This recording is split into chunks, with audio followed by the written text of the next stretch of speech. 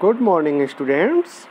This is the third chapter in physics of class 10th, which is sources of energy. This is the first lecture of this chapter. So, let's start the session.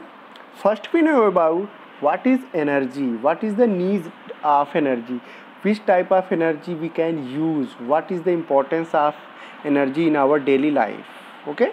तो कई सारे questions बनते हैं कि energy होती क्या है energy की क्या इम्पोर्टेंस है एनर्जी को हम कैसे यूज़ करते हैं, हमारे डेली लाइफ में कैसे यूज़ होता है तो इन सारी चीज़ों को हम लोग यहाँ पर जानेंगे। And what are the sources of energy also ठीक है? कि एनर्जी हमें कहाँ से मिलती है और उसको कैसे हम यूटिलाइज करते हैं, उन सारी चीज़ों के बारे में यहाँ डिस्कसन करेंगे okay so let's start first we know about introduction energy comes in different forms and one form can be converted into another है in previous classes we also studied about that law of conservation of energy energy can neither be created nor destroyed it can be changed from one form to another form ठीक है तो energy जो है वो नष्ट नहीं होती है नहीं उत्पन्न होती है बस हम उसे एक फॉर्म से दूसरे फॉर्म में कन्वर्ट करते हैं ठीक है तो एनर्जी जो है वो अलग अलग फॉर्म्स में पाई जाती है डिफरेंट फॉर्म्स में और उनको हम अपने अकॉर्डिंग जिस फॉर्म में हमें यूज़ करना होता है उन्हें हम कन्वर्ट करते हैं। The source of energy is one of which provide adequate amount of energy in a convenient form over a long period of time ठीक है? तो सोर्स ऑफ़ एनर्जी क्या होता है कि ऐसा सोर्स ठीक है एनर्जी का ऐसा सोर्स जो कि हमें सफिशियंट अमाउंट में एनर्जी प्रोवाइड करता हो सके और कन्वीनियंट हो, सरलता से प्राप्त हो सके उससे एनर्जी और लॉन्ग पीरियड ऑफ़ टाइम तक, अधिक समय तक हमें एनर्जी मिल सके। Okay need of energy what is the need of energy हमें क्या ज़रूरत है? For making foods we need energy हमें भोजन पकाने के लिए एनर्जी चाहिए। ठीक है? चाहे वो आप गैस पर बनाइए, ठीक है? अदरवाइज़ आप सोलर कुकर में बनाइए या फिर आप लकड़ी से बनाइए, किसी भी तरीके से हमें एनर्जी चाहिए। फॉर लाइटिंग, प्रकाश उत्पन्न करने के लिए हमें चाहिए। फॉर ट्रांसपोर्ट ट्रांसपोर्ट जितने भी हैं, आपके जितने व्हीकल्स होते हैं, एक्सेप्ट साइकिल, उन सभी में हमें एनर्जी की यूज़ होती है। कैस, साइकिल में भी एनर्जी होती है, लेकिन उसमें हम फिजिकली एनर्जी देते हैं, मैकेनिकल एनर्जी होती है वहाँ पे। पर ट्रांसपोर्ट, बस, ट्रक, जितने भी आपके व्हीकल्स हैं, उसमें हम केमिकल एनर्जी, फ्यूल से एनर्जी, इन सारी चीज़ों को देते हैं। फॉर रनिंग मशीन्स मशीनों को चलाने के लिए we need energy for industrial activities and agricultural work industries में भी इंडस्ट्रीज़ में भी जो भी फैक्ट्रीज़ वगैरह में जो भी सब्सटेंसेस बनाए जाते हैं, मशीनों को रन कराने के लिए वहाँ पर भी हमें एनर्जी की नीड होती है। और साथ ही साथ अगर हम देखें तो एग्रीकल्चरल वर्क में भी हमें एनर्जी की नीड होती है। तो ओवरऑल अगर हम देखें तो एनर्जी के बिना हमारा लाइफ पॉसिबल नहीं है। हमें जो हमारी बेसिक नीड है, उसके लिए हमें, उसको फुलफ़िल करने के लिए हमें एनर्जी की नीड होती है। Qualities of a good source of energy ठीक है? क्या क्वालिटीज़ होने चाहिए किसी भी एनर्जी के अच्छे सोर्स के लिए, ठीक है? Which would do a large amount of work per unit mass ठीक है? यानी पर यूनिट मास वो लार्ज अमाउंट में वर्क करता है, ठीक है? उसकी कम क्वांटिटी ही हमें अधिक एनर्जी दे। ऐसा हमारा अगर सोर्स ऑफ़ एनर्जी है तो वो उसकी अच्छी क्वालिटी मनाई जाएगी। ऐसा नहीं कि लार्ज अमाउंट में हम उसको यूज़ करते, हमें लेस अमाउंट में एनर्जी हो। तो वो गुड फ्यूल नहीं कहलाएगा गुड सोर्स ऑफ़ एनर्जी नहीं होगा, ठीक है? Second cheap and easily available सस्ता भी होना चाहिए और आसानी से उपलब्ध भी होना चाहिए। ऐसा नहीं होना चाहिए कि अब उसको लेने के लिए दूसरे कंट्री में जाना पड़े और वहाँ भी नहीं मिले, ठीक है? तो ईजिली अवेलेबल हो, हमारे आसपास के क्षेत्र में अवेलेबल हो, किसी न किसी तरह, और सस्ता भी होना चाहिए। Easy to store and transport उसको लाने, ले जाने और रखने में सरलता हो। उससे कोई नुकसान अधिक न हो। Safe to handle and use ठीक है? उसको रख रखा, उसको लाना, ले जाना जो हो, वो सेफ्टी हो, जिसमें हमें हार्म न हो। Does not cause environmental pollution और इन्वायरमेंटल पोल्यूशन तो जनरली कॉज करते हैं बट जितना लेस अमाउंट में इन्वायरमेंटल पोल्यूशन कॉज करेंगे, उतना ही हमारे लिए बेनिफिट होगा। तो गुड सोर्स ऑफ़ एनर्जी की ये क्वालिटी होनी चाहिए कि उसमें से मिनिमम इन्वायरमेंटल पोल्यूशन कॉज करता हो। Okay so next topic is fuels अब हम बात करेंगे फ्यूल्स की ठीक है the materials which are burn to produce heat energy are known as fuels ठीक है ऐसे कोई भी मटेरियल जो कि बर्न करने पर हीट एनर्जी प्रोवाइड करते हैं that is called fuels example लेते हैं तो ऊड लकड़ी है कोल कोयला LPG liquefied petroleum gas and kerosene जो आपका मिट्टी का तेल होता है। ये सारे ही आपके क्या कहलाते हैं? फ्यूल्स होते हैं इनके अलावा भी, डीजल, पेट्रोल, सीएनजी एक्सेट्रा बहुत सारे फ्यूल्स होते हैं। ठीक है तो ये कुछ कॉमन फ्यूल्स हैं जिनको हम डेली लाइफ में यूज़ करते हैं। Characteristics of good fuel good fuel की क्या कैरेक्टरिस्टिक्स होनी चाहिए? High calorific value calorific value क्या होती है पहले हम जाने? Give more heat per unit mass वही सेम क्वालिटी जो अभी हमने सोर्सेज ऑफ़ एनर्जी के लिए पढ़ा। कि उसकी मिनिमम अमाउंट को बर्न करने पे हमें मैक्सिमम अमाउंट में एनर्जी मिलती है। ऐसा, ठीक है? उसे हम कैलोरीफिक वैल्यू कहते हैं। तो जो कैरे गुड फ्यूल हो, उसकी कैलोरीफिक वैल्यू अधिक हो। हाइड्रोजन गैस की कैलोरीफिक वैल्यू सबसे अधिक होती है, ठीक है? हाइड्रोजन गैस की कैलोरीफिक वैल्यू सबसे अधिक होती है। बाकी जितने फ्यूल्स होते हैं, उन सब की कैलोरीफिक जो होती है हाइड्रोजन से कम ही होती है। हाइड्रोजन गैस की calorific value approx three times होती है पेट्रोल और डीजल की। तो ये काफ़ी एफिशिएंट होता है बट इजी टू हैंडल नहीं है। हम हाइड्रोजन को आसानी से यूज़ नहीं कर सकते हैं। Burn without giving out any smoke or harmful gases ठीक है? उसे जब हम फ्यूल को बर्न करते हैं, जलाते हैं तो उसमें से बहुत ही कम से कम स्मोक निकले, धुआँ भी कम से कम निकले और हार्मफुल गैसेस भी कम से कम ही निकले। और साथ ही साथ हो सके तो उसमें ऐस, यानी राख भी न बचे। तो ये गुड फ्यूल की कैटेगरीज में आते हैं। जैसे जितने भी आपके गैसियस फ्यूल होते हैं, वो सारे गुड फ्यूल की कैटेगरी में आते हैं, क्योंकि उन्हें जलाने पर ज़्यादा ऐस राख हमें नहीं मिलती है और न ही हमें बहुत ही अधिक हार्मफुल गैसेस मिलती हैं या फिर स्मोक मिलता है। वहीं अगर हम देखें, अगर काउ डंग के गाय के गोबर का जो उपला बना होता है, उसको जलाइए, लकड़ी को जलाइए तो बहुत ही अधिक क्वांटिटी में स्मोक प्रोड्यूस होता है और ऐस भी निकलता है, जो कि हमारे इन्वायरमेंट के लिए काफ़ी हार्मफुल होता है। They are not a good fuel gaseous fuel are the good fuel proper ignition temperature. What is ignition temperature? The minimum temperature need for firing. Sorry firing यहाँ पे मतलब फॉर फायर ठीक है? फायरिंग नहीं bullet यहाँ gun और bullet की बात नहीं की जा रही। फायर यानी कि आग लगने के लिए मिनिमम टेम्परेचर जो होता है दैट इज़ का इग्निशियन टेम्परेचर यानी किसी भी सब्सटेंस को बर्न करने के लिए एक मिनिमम टेम्परेचर की नीड होती है, उसे हम कहते हैं इग्निशियन टेम्परेचर तो इग्निशियन टेम्परेचर लो होना चाहिए, यानी आसानी से उसमें आग लग सके। जैसे आप एग्जांपल लीजिए, आपके घर पर एलपीजी यूज़ होता होगा तो आप वहाँ पर लाइटर को जब प्रेस करते हैं तो उसमें से एक केवल स्पार्क निकलता है, एक छोटी सी चिनगारी निकलती है, और उसी से वो जलना स्टार्ट हो जाता है, ठीक है? तो उसकी इग्निशियन टेम्परेचर काफ़ी कम है। वहीं अगर आप देखें, लकड़ी है, लकड़ी को आप लाइटर से जलाइए, जो लाइट, जिस लाइटर से आप गैस जला रहे हैं, उस लाइटर से तो वो नहीं जलता है। क्यों नहीं जलता? क्योंकि उसके लिए इग्निशियन टेम्परेचर की वैल्यू अधिक है। चीप एंड ईजिली अवेलेबल आसानी से उपलब्ध हो और सस्ता हो।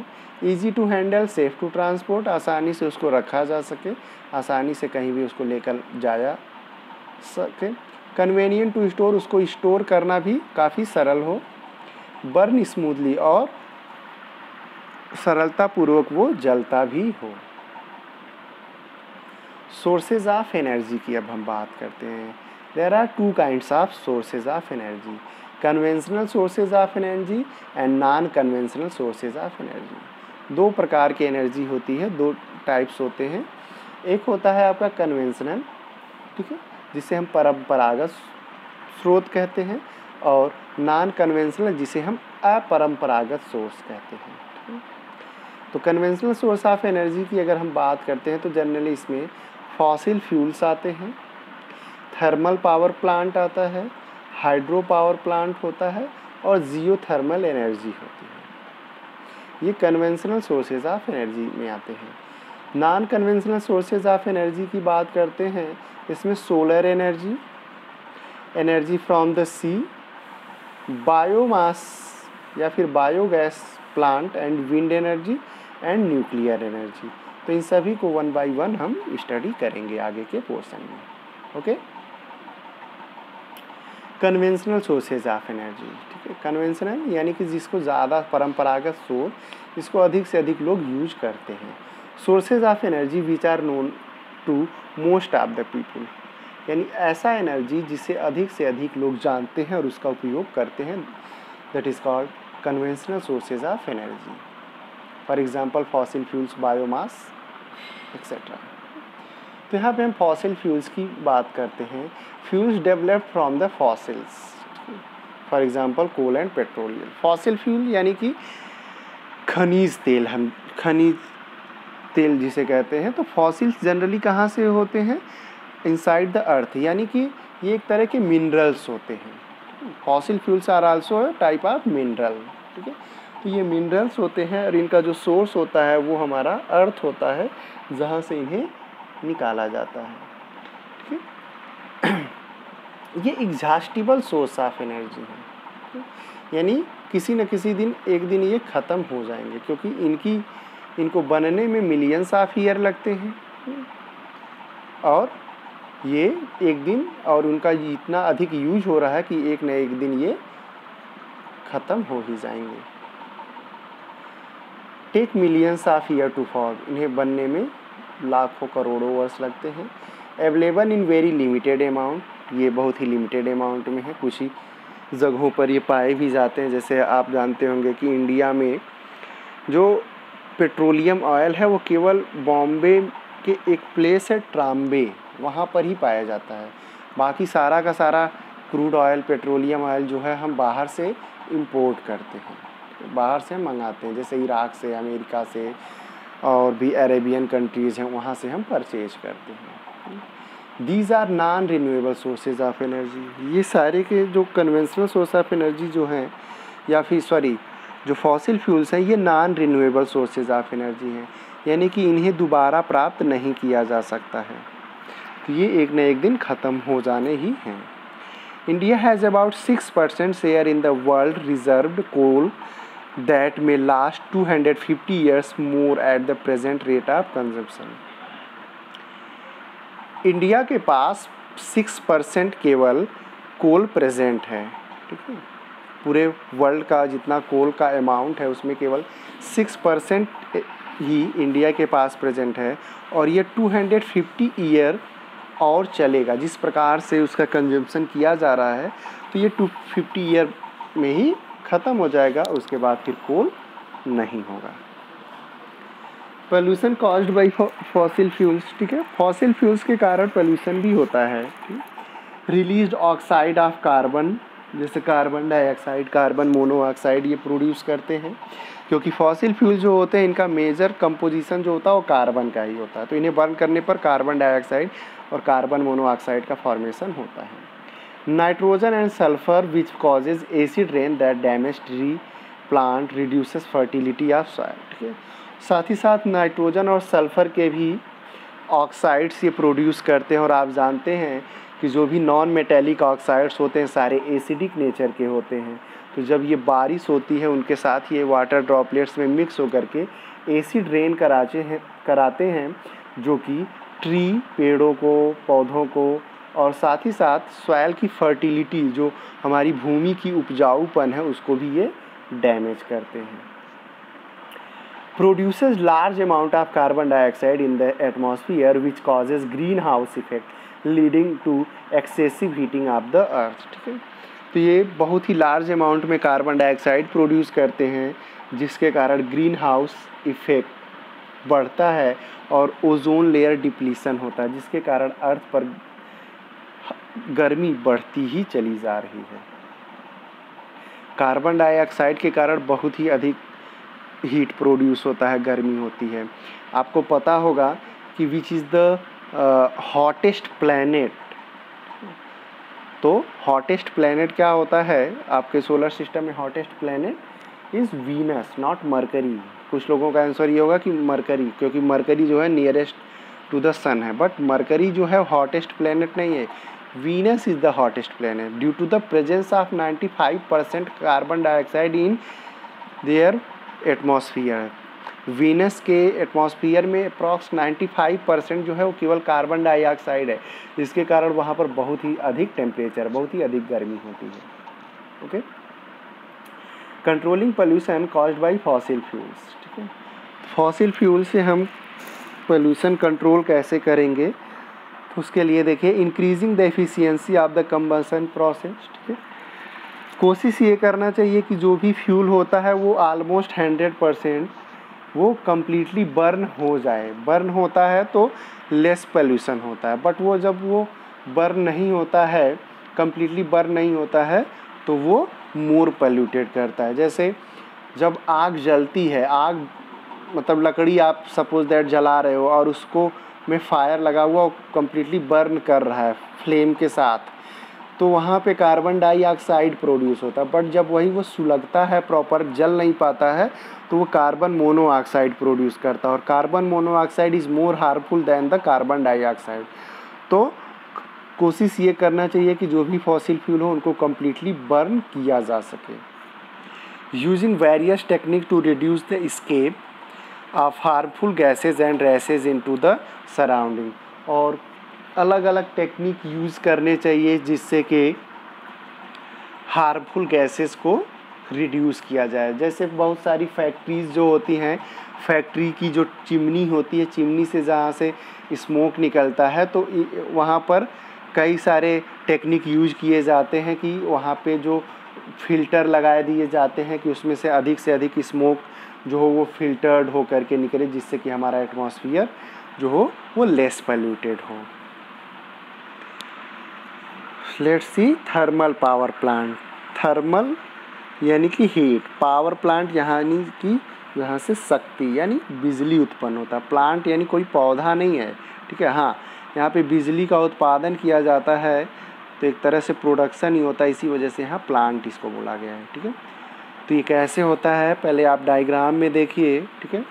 तो अगर एक छोटा सा यहाँ पे डेमो है कि प्रेशर कुकर है, आप घर पर भी इसको यूटिलाइज़ कर सकते हैं, इस एक्सपेरिमेंट को देख सकते हैं। प्रेशर कुकर प्रेशर कुकर का जो सीटी होता है, वहाँ पे देखिए तो एक स्टीम पाइप लगा दिया गया है। जब आप हीट करते हैं प्रेशर कुकर में वाटर रख करके तो उसमें से स्टीम निकलता है, भाप निकलता है और वही सीटी से निकलता है जब तो अगर वो किसी टरबाइन पर पड़े, ठीक है? तो टरबाइन यानी जो पंखा है आपका, देखिए तो उस पर जब वो पड़, पड़ता है तो टरबाइन रोटेट करता है और उसी से कनेक्टेड होता है डायनमो और डायनमो जो होता है, वो मैकेनिकल एनर्जी को इलेक्ट्रिकल एनर्जी में कन्वर्ट कर देता है तो बल्ब हमारा ग्लो हो जाता है।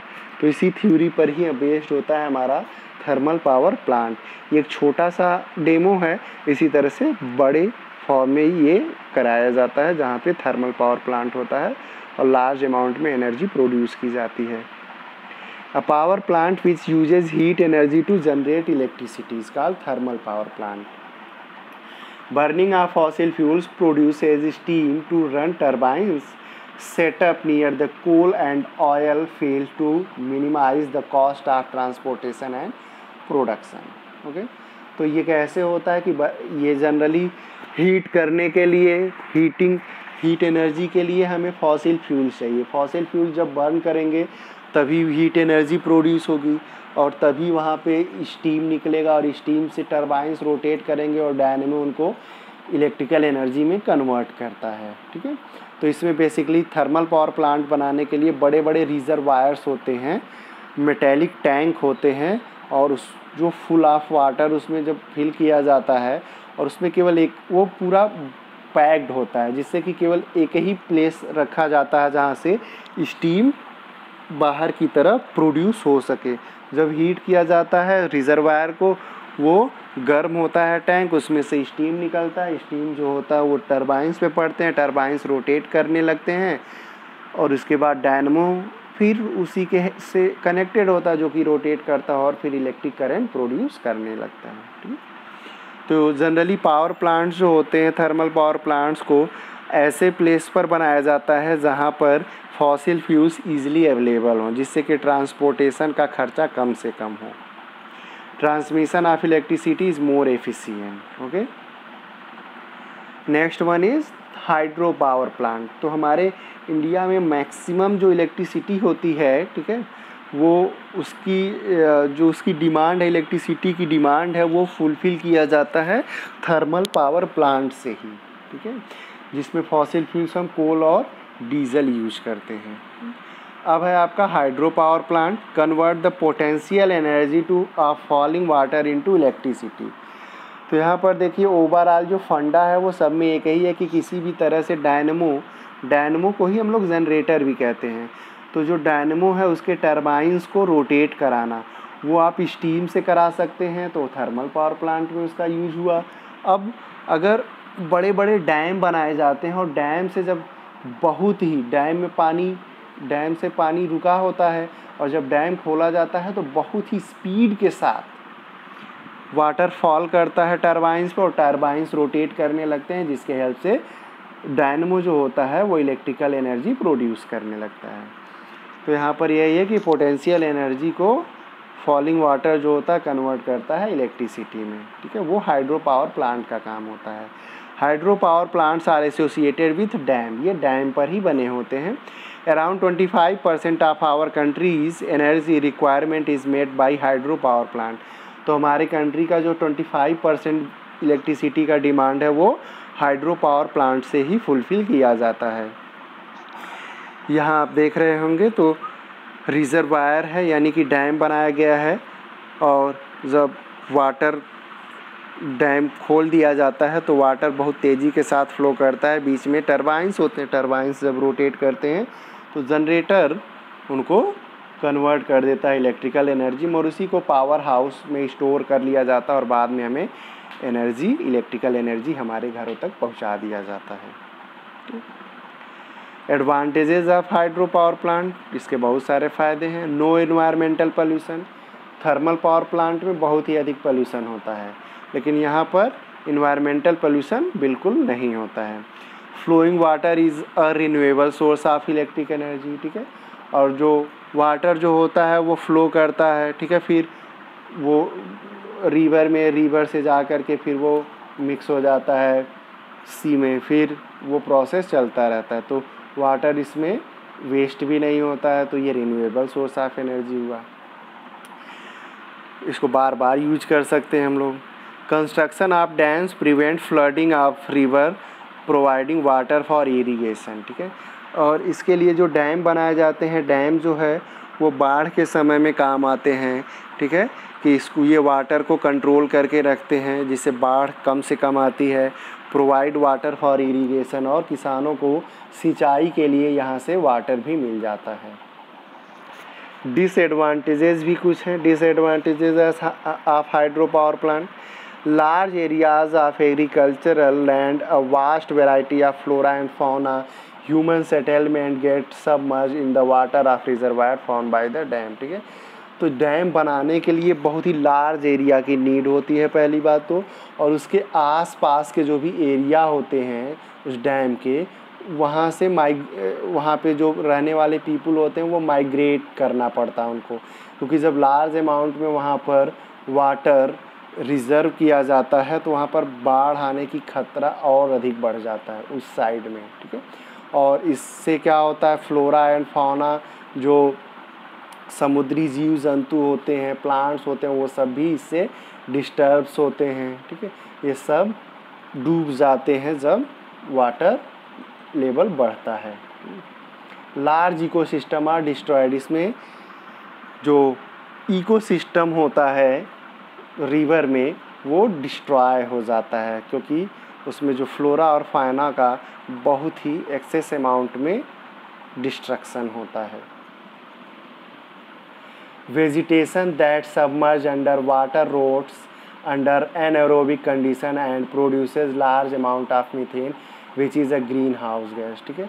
तो इसमें जो भी वेजिटेशन जो पेड़ पौधे एनिमल्स सब ज़मीन के नीचे दब जाते हैं, वो फिर एन एनओरोबिक कंडीशन मिलते हैं, उनको ऑक्सीजन मिलता नहीं है तो फिर वो कन्वर्ट हो जाते हैं धीरे धीरे डैम्प में और वहाँ से प्रोड्यूस होने लगती है मेथेन जो कि एक ग्रीन हाउस गैस होती है, जो कि हमारे एटमॉस्फियर को अफेक्ट करती है। Creates the problem of satisfactory rehabilitation of displaced people और जो आस पास के जो पीपुल होते हैं, जो भी लोग होते हैं, उनको बसाने के लिए जगह की ज़रूरत पड़ती है और सबको सेटिस्फैक्ट्री रिहेबिलिटेशन मिलना काफ़ी मुश्किल होता है क्योंकि सबको मन मुताबिक उनकी लैंड एरिया हाउस वगैरह देना काफ़ी डिफ़िकल्ट होता है। नेक्स्ट वन इज़ बायोमास ठीक है? The dead part of plant and trees and the waste materials of animals and man are called biomass ठीक है? तो जो भी डेड प्लांट्स होते हैं dead part of the plants होते हैं ट्रीज़ होते हैं, जो भी हमारे घरों के भी वेस्ट मटेरियल्स होते हैं काउ डंग वगैरह एनिमल एक्सक्रेटा ये सारे जो होते हैं बायोमास कहलाते हैं। इसमें फ़र्स्ट है आपका वुड लकड़ी। It is a biomass and use as a fuel for a long time ये एक बायोमास का ही एक पार्ट है, जो कि बहुत पुराने समय से यूज़ करते हुए हम लोग आ रहे हैं। Disadvantages of using wood as a fuel लेकिन लकड़ी का यूज़ करना फ्यूल के फॉर्म में ये काफ़ी नुकसानदायक होता है। डिसएडवांटेजेस हैं इसके कई सारे।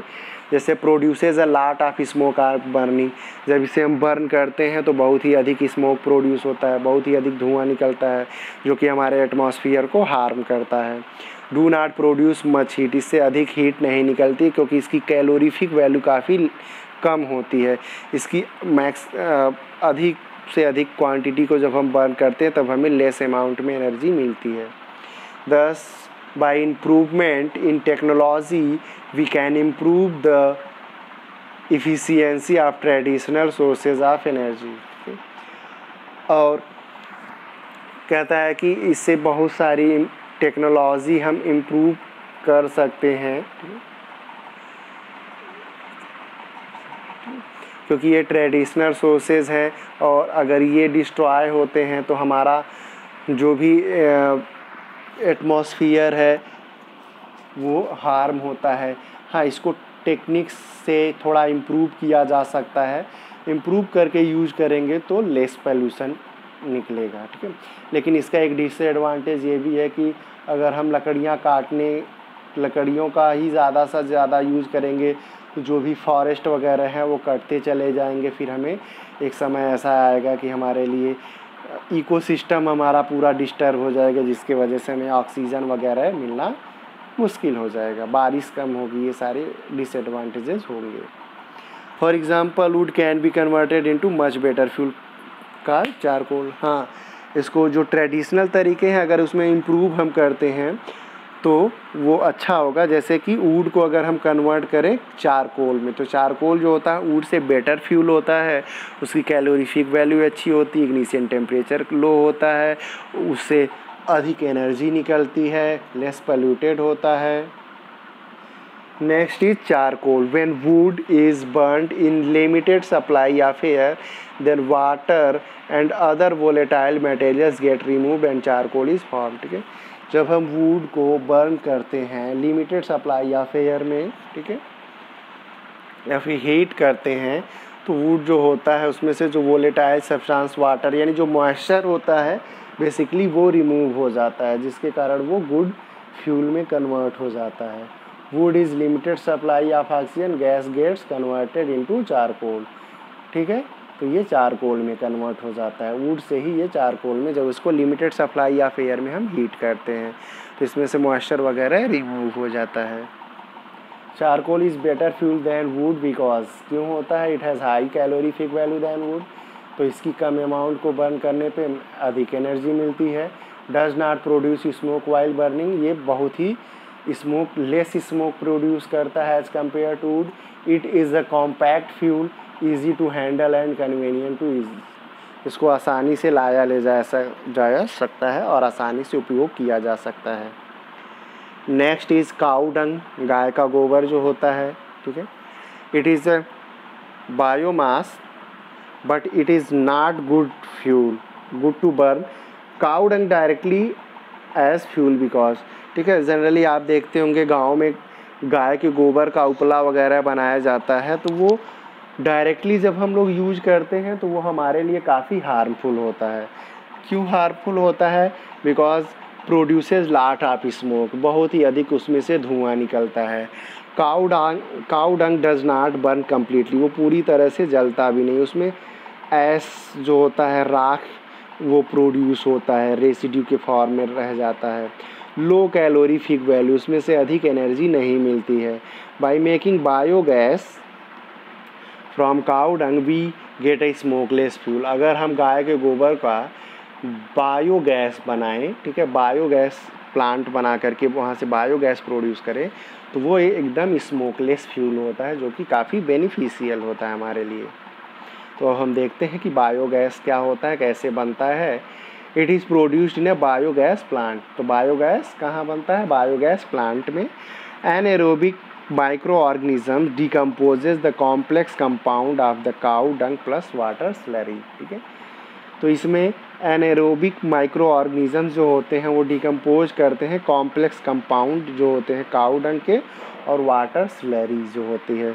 जैसे भी, जो भी घर का गंदा पानी वगैरह सब निकलता, सब इसी में जाता है। तो वहाँ पर एनेरोबिक माइक्रो ऑर्गेनिजम्स होते हैं, जो कि इसके कॉम्प्लेक्स कंपाउंड को ब्रेक डाउन कर देते हैं। It takes few day for the decomposition process and generate gases like methane इसको बनने में कुछ समय लगता है, और बनने डिकम्पोज होने में कुछ दिनों का समय लगता है, और आफ्टर दिस ये प्रोड्यूस करता है methane gas C H four carbon dioxide hydrogen and hydrogen sulphide तो मैक्सिमम पार्ट जो होता है वो मेथेन होता है और methane is a good fuel biogas is stored in the gas tank above the digester from which they are drawn through pipe for use तो यहाँ पे आप देख रहे हैं कि एक टैंक बायोगैस प्लांट बनाने के लिए पूरा एक टैंक बनाया गया है। स्लरी आप जहाँ देख रहे हैं स्लरी यानी कि वहाँ पर काऊ डंग और वाटर वगैरह रखा जाता है मिट्टी के साथ में। वो जब डाइजेस्टर में आता है तो डिकम्पोज होता है। डिकम्पोज होकर के वहाँ से जब उसमें से गैसेस प्रोड्यूस होने लगते हैं तो गैसेस ऊपर की तरफ़ जाते हैं। ऊपर की तरफ़ जाते हैं तो गैस टैंक एक बना रहता है जहाँ से गैस पाइप से वो बाहर निकाल लिया जाता है गैस को। और जो बाकी जो डिकम्पोज होने के बाद जो वेस्टेज बचता है, उसको हम फर्टिलाइज़र के फॉर्म में यूज़ कर सकते हैं। कहाँ? अपने फ़ील्ड में। जो गाय का खाद होता है, मेन्योर जिसे हम कहते हैं, वो बाकी का जो बचा हुआ रेसिड्यू होता है, उसको हम मेन्योर के फॉर्म में अपने खेतों में भी यूज़ कर सकते हैं। तो यहाँ आप बायोगैस में हमें लेस पॉल्यूटेड फ्यूल भी मिलता है और इसमें हमें अपने खेतों के लिए मेन्योर भी मिल जाता है, जो कि काफ़ी यूजफुल होता है। एडवांटेजेस क्या है इसके? It is an extent fuel excellent fuel as it contains up to seventy five percent methane ये अच्छा फ्यूल होता है क्योंकि इसमें सेवेंटी फाइव परसेंट मेथेन होता है। इट बर्न्स विदाउट स्मोक क्योंकि गैसियस फ्यूल है तो स्मोक नहीं प्रोड्यूस होता है। Leaves no residue like as in wood and coal burning इसमें जलने के बाद कुछ भी बचता नहीं है। कुछ रेसिड्यू नहीं बचता क्योंकि इसमें कुछ है, ये गैसियस फ्यूल है। वहीं आप डंग को डायरेक्ट जब जलाते हैं तो रेसिड्यू के फॉर्म में ऐस मिलता है, लकड़ी जलाने पर भी ऐस मिलता है, राख मिलता है, ठीक है? हीटिंग कैपेसिटी इज़ हाई इससे हाई हीटिंग हीट प्रोड्यूस होता है। It is also use for lighting इसे लाइटिंग करने मतलब प्रकाश जलाने के लिए, यानी जैसे आप देखते होंगे लालटेन वगैरह होता है तो उसी तरह से बायोगैस प्लांट से रिलेटेड हम बना सकते हैं, जहाँ से कि हम प्रकाश उत्पन्न कर सकते हैं।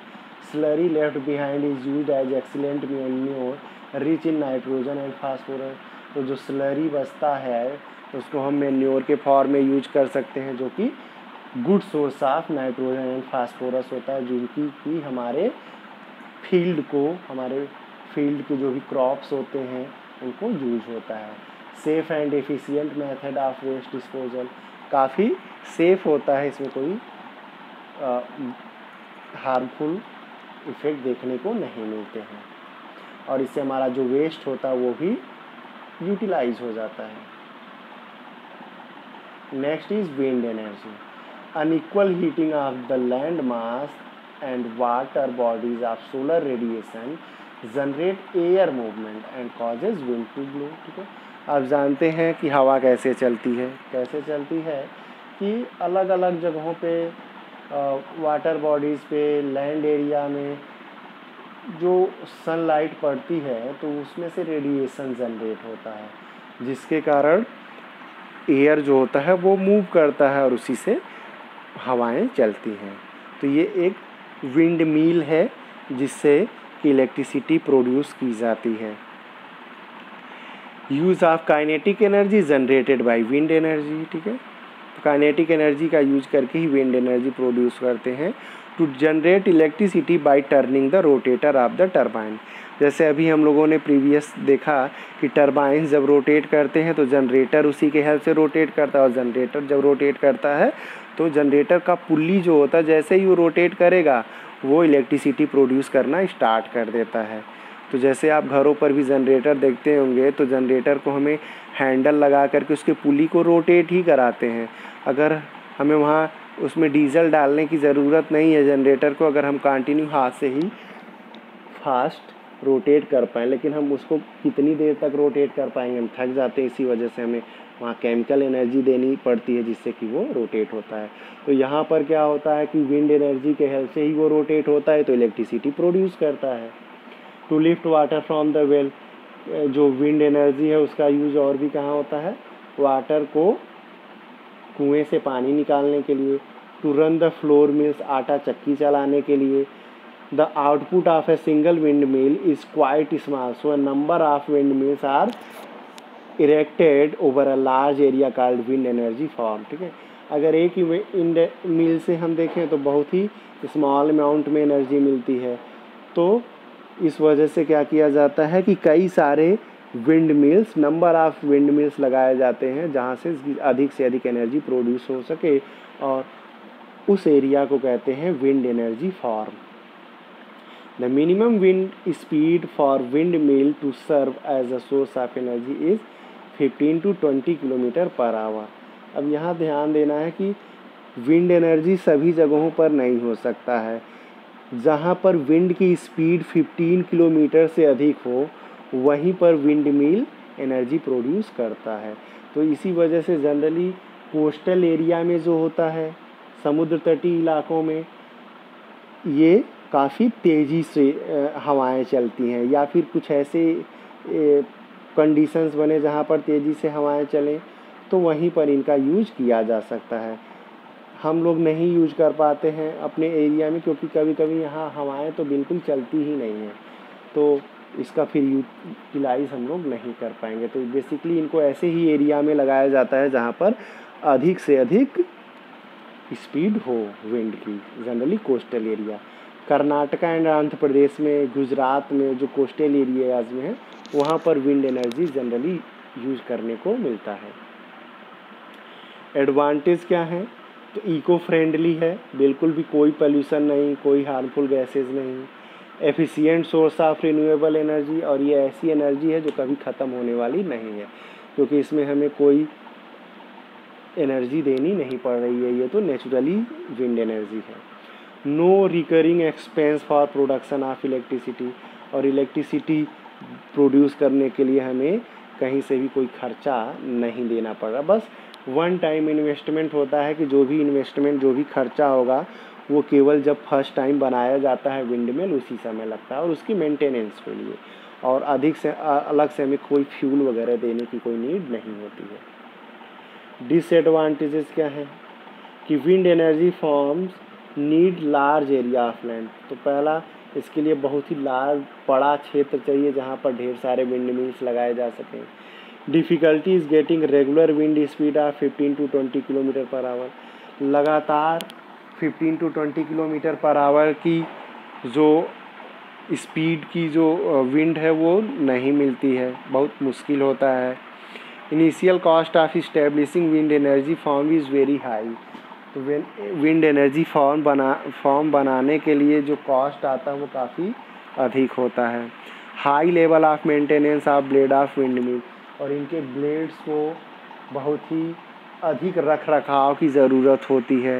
उनको डैमेज होने से बचाना भी पड़ता है अदरवाइज़ हमें प्रॉब्लम हो सकती है।